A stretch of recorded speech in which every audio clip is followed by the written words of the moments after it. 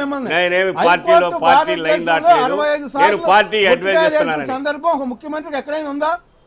ఒక ముఖ్యమంత్రి గారికి హైకోర్టు అరవై ఐదు సార్లు ముట్టికాయలు ఒక్క నిమిషం ఆగండి.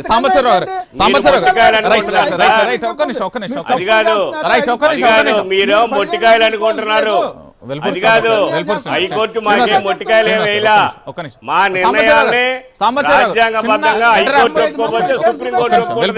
అవి మొట్టికాయలు అనుకుంటేట అవి మొట్టికాయలు కాదు. మా నిర్ణయాల్ని లేదు కదా మాట ఒక్క మాట నేనేమంటున్నాను అంటే నర్సాపురం ఎంపీగా ఉన్న రఘురామ కృష్ణమరాజు ఒక రాష్ట్రంలో సామాన్యమైన వ్యక్తి కాదు ప్రజల చేత ఎన్నుకోబడిన వ్యక్తి ఒక రా- రాష్ట్రంలో ఏదైతే ఎంపీగా పనిచేస్తున్న వ్యక్తి అలాంటి ఎంపీ చేసే వ్యాఖ్యలను మీడియా పరిగణనలోకి తీసుకుంటుంది.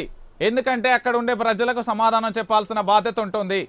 సామాన్యుడు విమర్శ చేస్తే ఎవరు పట్టించుకోరు. ఒక ఎంపీ విమర్శ చేస్తే పట్టించుకుంటారు. అంటే మీకు చెప్పేవాడిని కాదు. కానీ ఇది నిజం. తను స్వయంగా సీఎం దగ్గర కోటరీ కానీ కొన్ని విషయాలు మాట్లాడినప్పుడు మాకేదో బ్రేకింగ్ న్యూస్ లేకపోతే ఇంకేదో కావడానికి కాదు. వారిని ఫోన్ లైన్లో తీసుకున్నాం. వారు స్పష్టంగా సమాధానం ఇచ్చారు. మరి ప్రభుత్వం లోపం ఉంది. మీరు సరిచేసుకోమని మేము అడ్వైజ్ ఇస్తున్నాం. మరి దీన్ని కూడా విమర్శ అంటారా? మీ అసలు మీ మిమ్మల్ని నేను విమర్శని అనుకోవట్లేదు సార్. అది కాదండి. ఈ రాష్ట్రంలో చాలా సమస్యలు ఉన్నాయి. మీరు అన్నారు చాలా అది కాదండి. కావాలి అది. ఈ రాష్ట్రంలో చాలా సమస్యలు ఉన్నాయి. రఘురామకృష్ణరాజు గారు జగన్మోహన్ రెడ్డి గారిని సలహా ఇచ్చినా అది విమర్శగా తీసుకున్నా అది పెద్ద సమస్య కానే కాదు. ఆయనే విమర్శించలేదు. ఆయన ఏం చెప్పాడు? నాకు వెళ్ళే టైం లేదు. నా ఇంటర్వ్యూ ఎప్పుడు వస్తుందో తెలీదు. అందుకని నేను ఆదుదాబడి కలెక్టర్ దగ్గరికి వెళ్ళి ఇటువంటి మిస్అప్రాపరేషన్ జరుగుతున్నాయి. గవర్నమెంట్కి మనకి బ్యాడ్ న్యూస్ వస్తుందంటే ఇప్పుడు స్టేట్ వైడ్గా ట్రోల్ బీఫ్ నెంబర్ పెట్టించగలిగాను అని అడ్వైజ్ ఇచ్చాడు. ఇప్పుడు నా నా బోటు ఒక సామాన్యుడు ఒక జిల్లా అధికార ప్రతినిధి మేము జగన్మోహన్ దగ్గరికి వాళ్ళు వెళ్తే సాయంత్రం కలుగుతాడు సార్. ఓ షెడ్యూల్ పది రోజుల దాకా ఉంటుంది. అప్పుడు ఏం చేస్తాం మనం? ఏ సజ్జారామకృష్ణారెడ్డి గారి దగ్గరికి వెళ్ళి ఇది చేయండి ఇది చేయండి అని రెండు మూడు సలహాలు చెప్పాం. ఎమ్మటే ఒక వారం రోజుల తర్వాత చేశారు. చేసి ఒక వారం రోజులు పట్టింది. మేము వెళ్ళి మాట్లాడిన తర్వాత ఒక వారం పట్టింది. గారు చెప్పండి.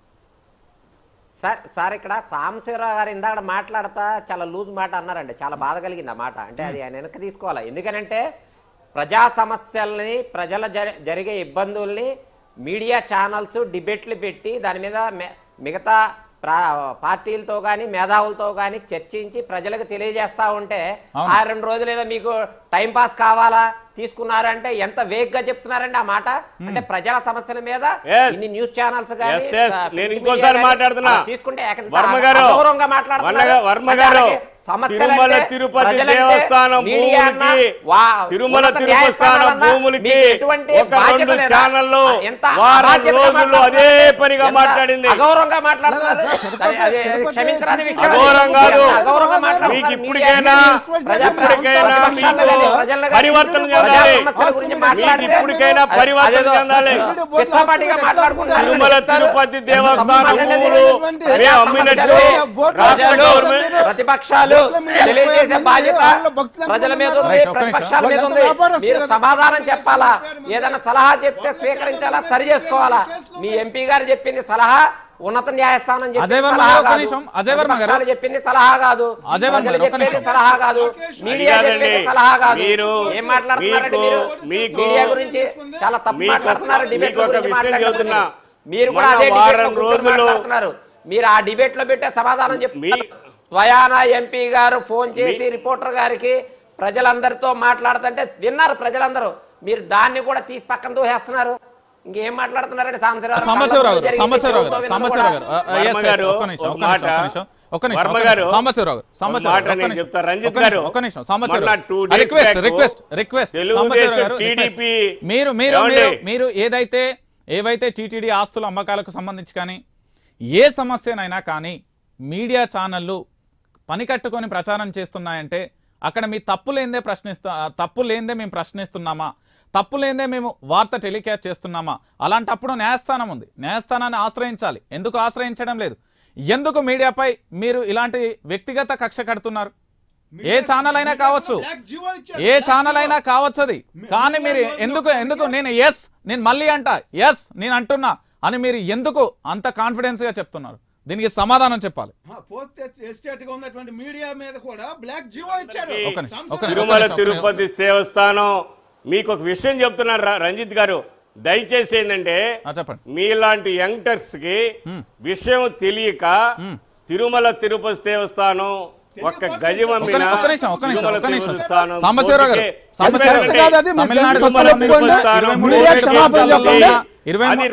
గవర్నమెంట్. నేను చదువుకున్న. మిగిలిన సభ్యులు దాన్ని రాష్ట్ర గవర్నమెంట్కి చెందుదని జగన్మోహన్ రెడ్డికి డబ్బు లేక అమ్ముకున్నాడని ఇది ఛానల్లో ట్రోల్ చేయటం న్యాయమా తిరుమల తిరుపతి దేవస్థానం బోర్డు ఒక గజం పది వేల రూపాయలకు అమ్మినా అది తిరుమల తిరుపతి దేవస్థానం బోర్డుకి. ఆ, భక్తులు ఇచ్చిందని అమ్మటం అండి. మీరెవరు అమ్మటానికి? మీరేమో ఒక రూపాయి ఇచ్చారు మీరు మీరు సొంత మీరు ఆస్తులు అమ్ముకోండి మీరు. మీరు మీరు చెప్పేదేనండి మీకు వేల ఎకరాలు మీ సొంత ఆస్తులు అమ్ముకోండి. టిటిడి ఆస్తులు అమ్ముతారు మీరు హక్కు ఉందా? అమ్మటానికి? సాంబశివరావు గారు సాంబశివరావు ఎగ్జాక్ట్. మీరు మీరు మీరు కరెక్ట్గా చెప్పారు. ఒక్క నిమిషం ఒక్క నిమిషం శ్రీనివాస్ శ్రీనివాస్ శ్రీనివాస్ రైట్, అవన్నీ గతంలో చర్చించిన విషయాలు. గతంలో చర్చించిన ఒక్క నిమిషం. ఒక్క నిమిషం. ఒక్క నిమిషం ఒక్క నిమిషం ఒక్క నిమిషం ఒక్క నిమిషం. సాంబశివరావు గారు ఎస్ మీరు ఎగ్జాక్ట్గా చెప్పారు. ఒక్క నిమిషం ఒక్క ఒక నిమిషం సాంబశివరావు నేను మీరు మీరు సమాధానం చెప్పారు. గారు గుంటూరులో ఒక్క నిమిషం గుంటూరులో అండి. వెల్పూడి 1963 శ్రీనివాస్ గారు. ఇచ్చారు ఒక దాత శ్రీనివాస్ గారు. దాన్ని కూడా మీరు వాళ్ళు డెబ్బై కోట్లకు అమ్ముతున్నారు. రైట్. అసలు ప్రభుత్వానికి సిగ్గులేదని అడుగుతున్నా రైట్ నేను. రైట్ అవన్నీ అవన్నీ ఎట్లా అమ్ముతారు మీరు రైట్ భూములు రైట్ మీరు? చర్చ వేరు. రైట్ సాంబశివరావు గారు ఒక్క నిమిషం ఒక్క సిగ్గు నిమిషం ఒక్క లేక మాట. రాష్ట్ర రాజధానులు అమ్మారా? రైట్, రైట్, ఒక్క మాట. సిగ్గు శరం లేక రాష్ట్రధారణలో ఏడు వేల ఎకరాలు అమ్మారు. మీకు సిగ్గు శరం లేదు. ఏడు వేల ఎకరాలు రాజధానిలో పొలాలు?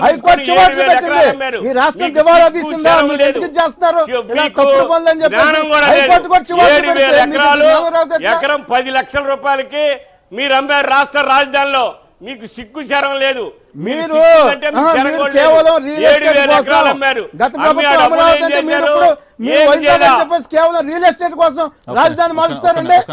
రాజధాని రియల్ ఎస్టేట్ కోసం శ్రీనివాస్ మారుస్తారా? గారు శ్రీనివాస్ గారు ఒక్క నిమిషం. రైట్ సాంబశివరావు గారు అంటే ఒక్క నిమిషం సాంబశివరావు సాంబశివరావు గారు. మీరేగా చెప్పింది.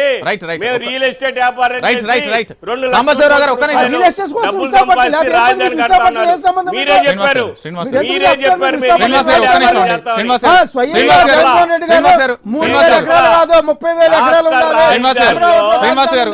శ్రీనివాస్. భారతీయ జనతా పార్టీ కేవలం హిందుత్వ పార్టీ అని మీరు? విమర్శలు ఒక్క నిమిషం ఆగండి రైట్ సాంబశివరావు గారు మీరు ఇంత ముందు ఇంత సాంబశివరావు గారు ఒక్క నిమిషం ఒక్క నిమిషం. ఒక్క మాట ఒక్క మాట ఒక్క మాట మీరు ఇంతకుముందు ఏమన్నారు? యంగ్ జర్నలిస్టులు వస్తున్నారు విషయ పరిజ్ఞానం లేదు. మేము చదువుకొని వచ్చాం. లేకపోతే తెలుగులో లేకపోతే మాకు తెలియని అంశాలను మీలాంటి వారి ద్వారా మేము స్వీకరిస్తాం తెలుసుకుంటాం తెలుసుకునే ప్రయత్నం కూడా చేస్తాం ఎప్పటికప్పుడు. మీడియాలో ఏంటంటే నిత్యం మేము ప్రతి వార్తను కూడా లోతుగా ఆ, క్షుణ్ణంగా పరిశీలించాల్సిన అవసరం ఉంటుంది. ఇప్పుడు నేను ఇక్కడ డిబేట్ చేస్తున్నానంటే దీనికి నేను వర్క్ చేసి ఉండే ఇక్కడికి వస్తా మీలాంటి వాళ్ళని అడిగే. కానీ మీరు ఆపాదించడం కరెక్ట్ కాదు. దాంతో పాటుగా ఏ విషయాన్నైనా ఇట్లా ప్రచారం ఒక్క నిమిషం ఒక్క నా మాట పూర్తిగానే. ప్రచారం చేస్తుందంటే ఒక వార్త ప్రసారం జరిగేటప్పుడు కానీ ఏదైనా విషయం అక్కడ జరుగుతున్నప్పుడు కానీ ప్రభుత్వం నుండి దానికి సమాధానం క్లారిటీగా ఉంటే దాన్ని విపక్ష పార్టీలు కానీ మీడియా కానీ ఇంకెవరైనా కావచ్చు దాన్ని ఎవరు కూడా ట్రోల్ చేయరు. ప్రభుత్వం నుండి సరైన సమాధానం లేకపోయినా మీరు చేసేది తప్పిదమున్నా ప్రశ్నించడానికి విపక్ష పార్టీలు కానీ మీడియా కానీ ఎవరైనా వస్తారు. చెప్పండి. రంజిత్ గారు. మీకు మీకు విషయం విషయం ఏం చెప్పానంటే. డెబ్బై నాలుగు నుంచి అక్కడ ఆస్తులు అమ్ముతున్నారు. ఓకే. ఇవాళ ఆస్తులు అమ్ముకోపోతే ఇవాళ కూడా నేను చెప్తున్నా. మ్, stand by my personal opinion. పొలాలు కానీ స్థలాలు కానీ ఆక్రమణలు జరుగుతాయి. ఏ భూములు దాదాపు ఇప్పటికి నలభై ఏడు పర్సెంట్ ఈ దేశంలో ఉన్న గొల్ల దేవాలయ భూములన్నీ ఆక్రమణ జరిగిపోయినాయి. అవి ఆక్రమణగానే అవుతాయి. కోర్టుల్లో డిస్ప్యూట్ ఉన్నాయి. వందల కేసుల్లో ఉన్నాయి. మనం అమ్మ అమ్మకుండా మనం ఏదో సెంటిమెంట్ రాజేసి అదేదో భూ స్థలదాతలు ఇచ్చారు. స్థలం ఇప్పుడు బంగారం ఇస్తున్నానండి. బంగారం బంగారం? అదే అదే అదే తర్వాత వేరే చర్చ